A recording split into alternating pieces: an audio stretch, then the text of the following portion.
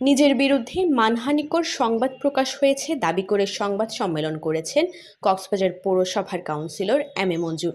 বৃহস্পতিবার নিজ কার্যালয়ে মঞ্জুর বলেন, স্থানীয় আব্দুর রহমান পৈতৃক সূত্রে প্রাপ্ত জমির চেয়ে বেশি জোরপূর্বক দখল করে রেখেছেন। সেই দখল পাকাপোক্ত করতেই এবং তার সম্মানহানি করার জন্য ভিত্তিহীন তথ্য দিয়ে সংবাদ প্রচার করেছে।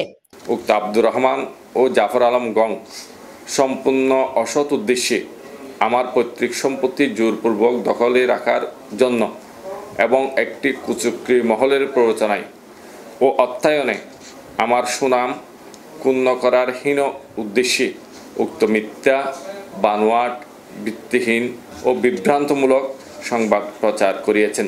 মঞ্জুরের দাবি মূলত আইনগতভাবে জমিতে কোনো সত্য না থাকায় সংবাদ প্রচার করে বিভ্রান্ত করার চেষ্টা করা হচ্ছে।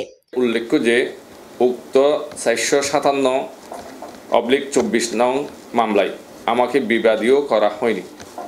অথচ বিশ মে দুই হাজার চব্বিশ প্রচারিত সংবাদ মাধ্যমে অহেতুক উদ্দেশ্য প্রণীতভাবে আমি এবং আমার ভাইদের জমির দখলদার সহ বিভিন্ন কুরুচিপূর্ণ মন্তব্য করেছেন।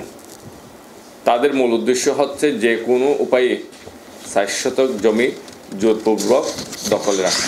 কাউন্সিলর মঞ্জুর জানান পিতা আসমত আলীর নামের খতিয়ানি এ জমির জন্য ভূমি উন্নয়ন কর পরিশোধ করে আসছেন তারা।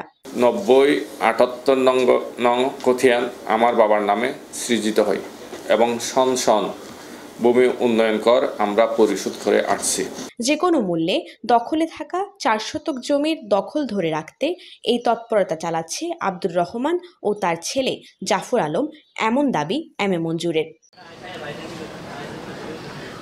News desk টিটিআন